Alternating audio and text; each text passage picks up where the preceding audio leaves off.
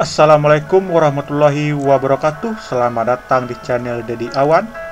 Kali ini kita akan berbagi mengenai evaluasi dan jawaban PJOK kelas 2 Tema 2 Sebelum kita lanjut jangan lupa like, komen, subscribe dan bunyikan lonceng notifikasinya Agar tidak ketinggalan video pembelajaran berikutnya. Langsung saja kita mulai. Soal yang pertama otot yang kuat akan membuat titik-titik. Perhatikan pilihan jawabannya di bawah ini. A. Badan sehat dan bugar. B. Badan sakit dan bugar. C. Badan sehat dan lemas. D. Badan segar dan malas. Jawaban yang benar untuk pertanyaan nomor satu adalah A. Yaitu badan sehat dan bugar Langsung saja kita lanjut soal nomor 2 Gerakan yang salah dapat menyebabkan apa? Yang ditanya gerakan yang salah pada olahraga ya maksudnya Dapat menyebabkan apa? Perhatikan pilihan jawabannya di bawah ini A. Sehat B. Bugar C. Cedera D. Capek Jawabannya adalah C. Yaitu cedera Kita masuk soal nomor 3 Kekuatan otot lengan digunakan untuk apa? Kita lihat pilihan jawabannya. A. Berlari B. Mendorongkan C. Berdiri D. Melompat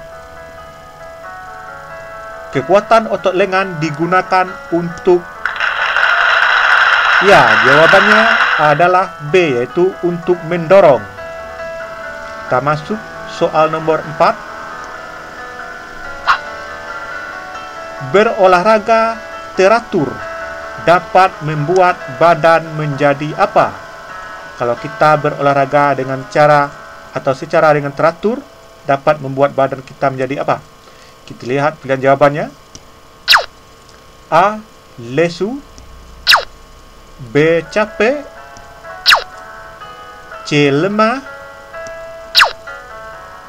D. Sehat Sudah pasti jawaban yang benar adalah Ya, jawabannya D, yaitu sehat Kita lanjut soal nomor 5 Jalan sambil mengangkat lutut Berguna untuk melatih apa? Kalau kita biasa berjalan sambil mengangkat lutut ini berguna untuk apa? Kita lihat pilihan jawabannya. A. Otot tungkai B. Otot lengan C. Otot pinggang D. Otot leher Yang benar jawabannya adalah A. Yaitu otot tungkai kita masuk soal nomor 6.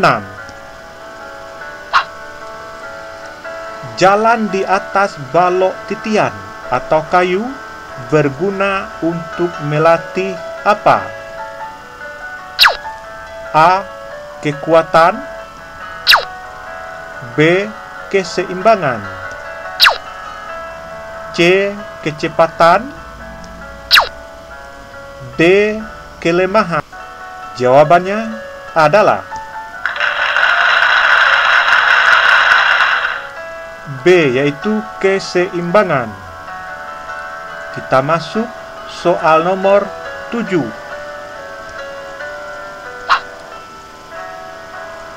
Agar jasmani tetap sehat dan bugar, berlatihlah dengan apa? Agar jasmani kita ini tetap sehat dan bugar, kita harus berlatih dengan apa? Perhatikan pilihan jawabannya di bawah ini. A. Acakan B. Sangat jarang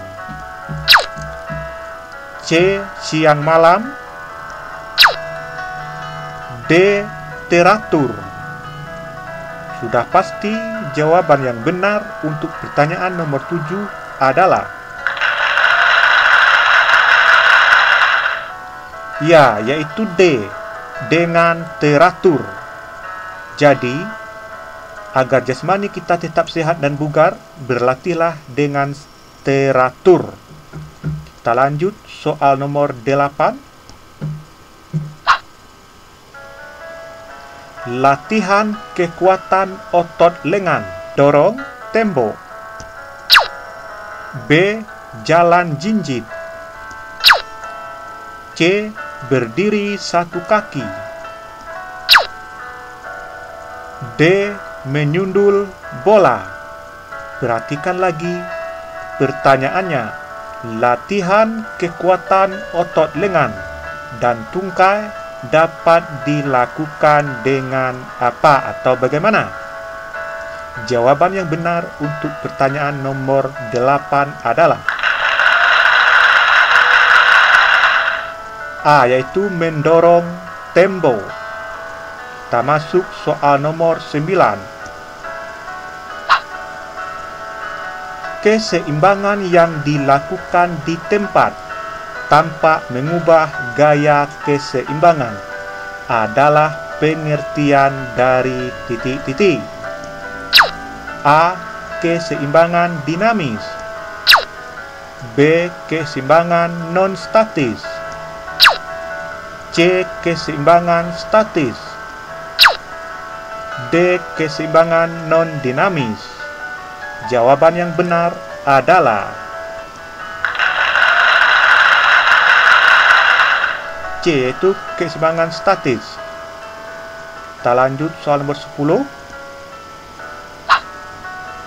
Sikap awal latihan berdiri dengan dua kaki jinjit adalah A. Duduk selonjor B. Berdiri tegak C. Duduk bersipu D. Berdiri satu kaki Jawabannya adalah B yaitu berdiri tegak. Sampai di sini pembahasan soalnya. Terima kasih, semoga bermanfaat.